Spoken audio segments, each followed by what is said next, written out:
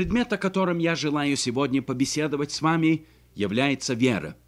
За последнее время, да, в эти странные и во многих отношениях непонятные для многих из нас времена, в которых мы живем, вопрос веры особенно занимает мое внимание. И при том, несмотря на то, что слово «вера» является обиходным словом христианства, все же многие, даже религиозные люди, значение его не понимают или же понимают его лишь отчасти. Имея это в виду, я вновь обращаюсь к известному месту в Священном Писании, говорящей о вере, а именно послание к евреям. Чтобы понять примеры веры, данные нам в 11 главе этого послания, мы должны обратить наше внимание на последнюю часть 10 главы. Слова «праведный верою жив будет», которые мы здесь находим, взяты автором из ветхозаветной книги пророка Авакума – они повторяются также в двух других местах Нового Завета, то есть в послании к римлянам, галатам и третий раз в этой десятой главе послания к евреям. Заявление этих слов в Ветхом Завете и их трехкратное повторение в Новом весьма знаменательно. Например, в послании к римлянам, где оно впервые цитируется, оно является основным текстом для изложения о спасении – в послании Галатам о свободе и в послании к евреям о победе. В этих трех великих посланиях, говорящих о спасении, о свободе и о победе через веру, слова Авакума «праведный верою жив будет» цитируются. В первую очередь отметим обстоятельства, при которых они были сказаны пророку Авакуму. Период, в который жил пророк Авакум, был смутным временем в истории народа Божьего. Состояние всей страны было потрясающее. Об этом положении вещей пророк жалуется Богу. Он напоминает Бога о насилии, о притеснении, о беззаконии и злодействе, которые наблюдались в жизни народа его.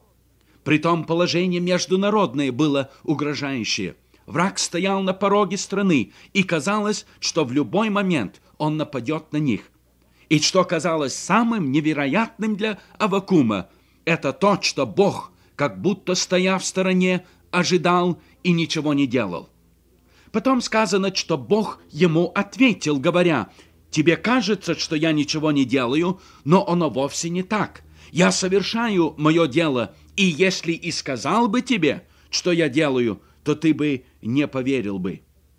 И затем ему Бог сказал, что он делает, то есть воздвигает самого злого, лютого народа того времени, халдеев, быть его орудием, чтобы исполнить его намерение в мире и среди его народа.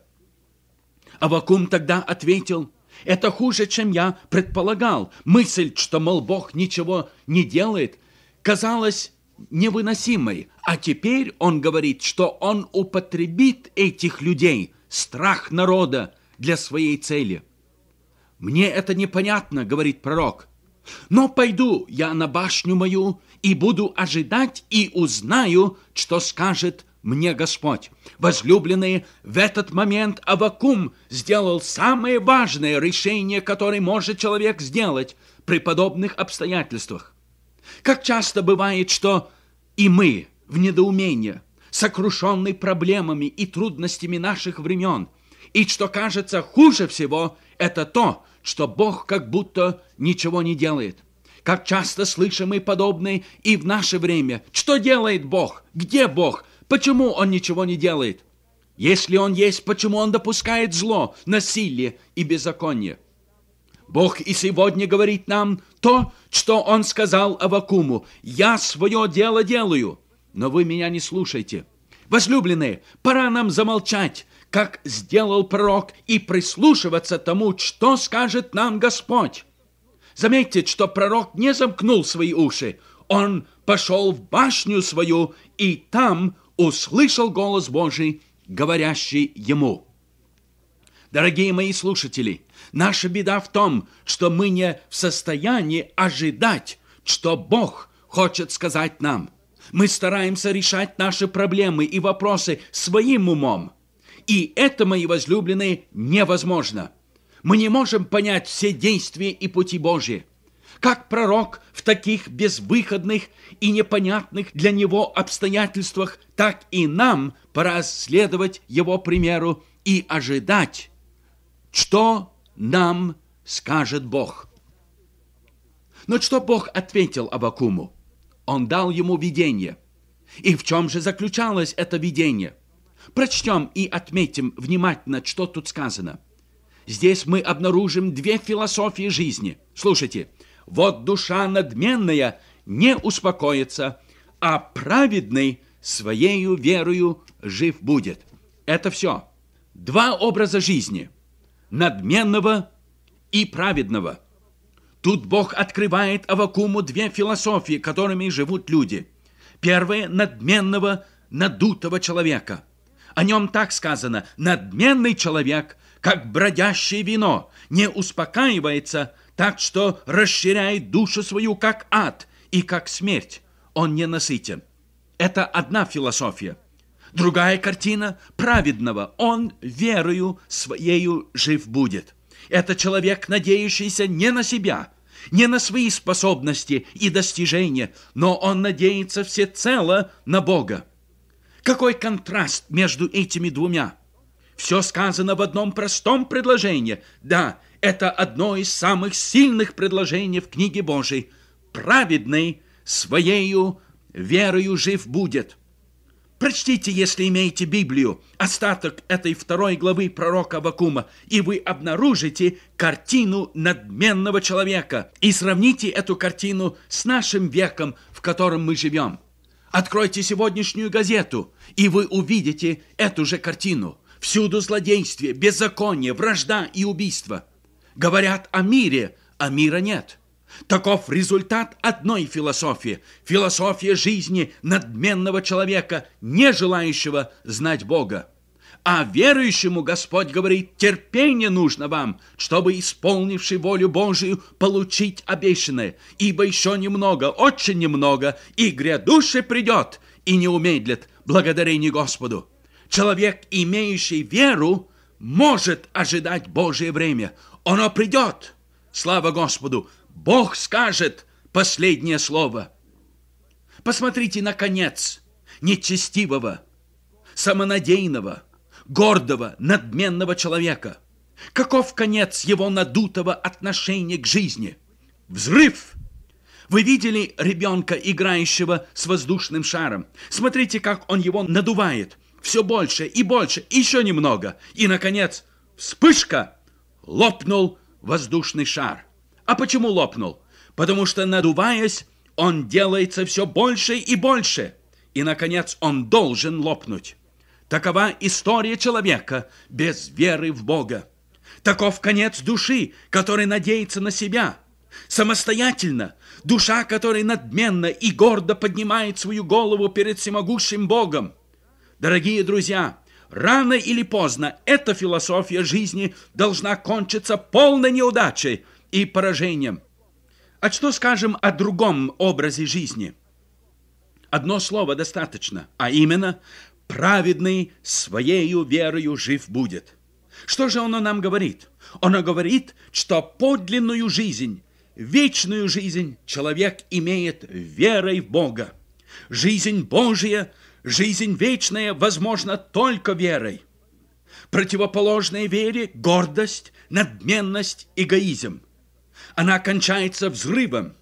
Вера же осуществляет реальность, жизнь, дает подлинный мир и вечную радость благодарение Господу вовек. Теперь обратим наше внимание на первый пример победы веры, пример спасения через веру, который приводит автор послания к евреям в 11 главе.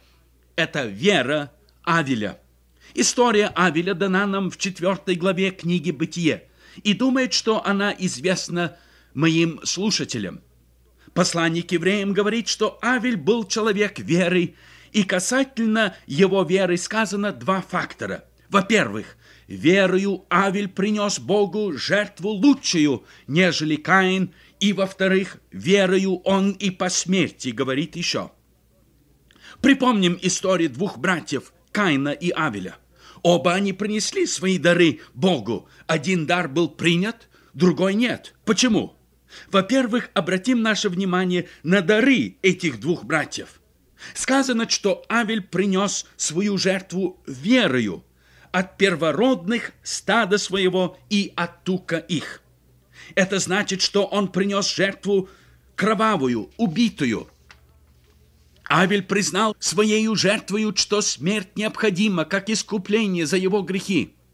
Однако Каин поступил не так. Когда Каин принес свои дары, то он принес овощи, фрукты, красивые дары, взятые из земли.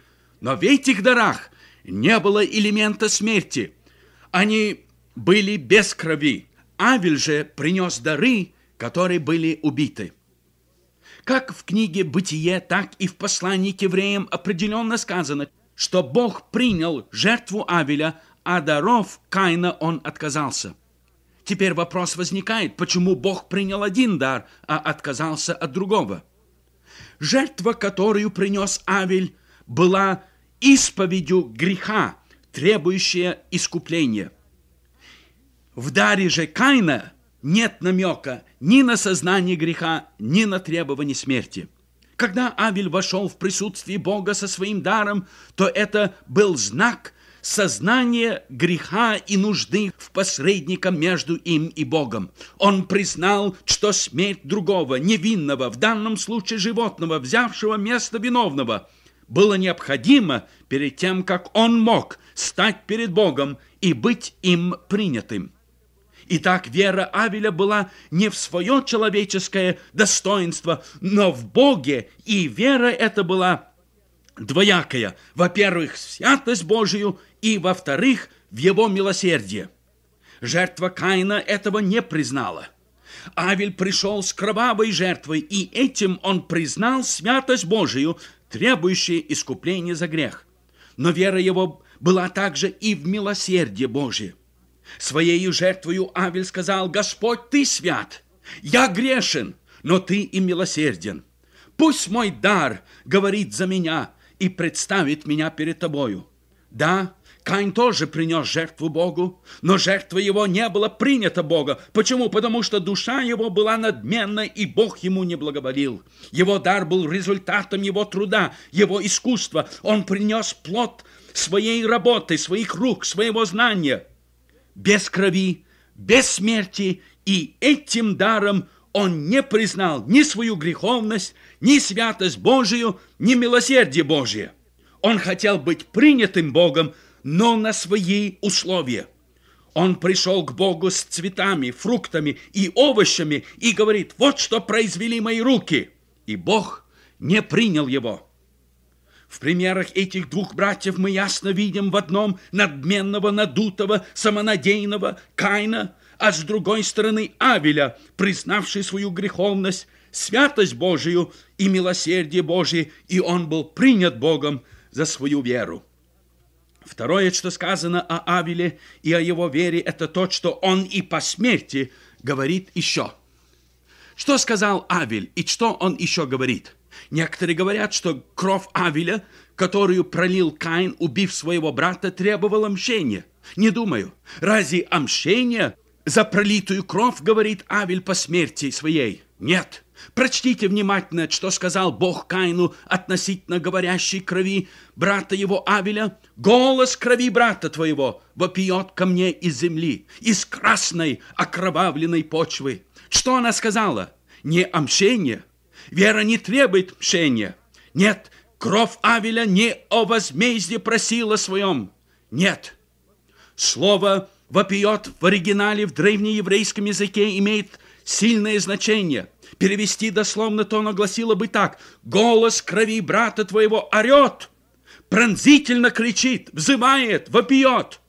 Оно говорит о страдании и боли. Почему? Потому что земля проглотила человеческую кровь, и теперь кровь эта взывает, вопиет, кричит от боли и нужды. Каково значение этой крови? Это был прямой результат греха, восстание против Бога, восстание человеческой гордыни и самонадеянности против Бога. Каин убил брата, потому что он был злодеем. В этом акте он показал сущность греха. Кровь Авеля был результатом греха, и она возопила Богу. Голос крови, звучащий в ушах Божьих, был голос отчаяния, вопль человечества о избавлении, о искуплении, о примирении, о пути обратно к Богу. В пролите крови Авеля Бог услышал взов, вопль страдающего человечества. Опять в следующей главе упоминается кровь Авеля, что кровь Иисуса говорит лучше, нежели кровь Авеля. Кровь Авеля вопила из земли, прося спасения, избавления. Это был голос бедствия. Кровь Иисуса не это говорит, но заявляет, что вопль этот отвечен, что искупление совершено, и что человек имеет доступ к Богу, слава Ему вовек. Да, кровь Иисуса Христа говорит лучшее. Она заявляет каждому, что искупление совершено. Пролитая кровь Авеля братом своим был воплем нужды человека, изгнанного от Бога. Она и сегодня говорит по смерти его, что человек нуждается в спасении. И кровь Иисуса отвечает, что есть путь для человека спастись, быть Богом принятым и прощенным. О, мой дорогой друг! Прими этот дар спасения, встань сегодня на этот дивный путь веры. Он приведет тебя к жизни и притом к жизни вечной.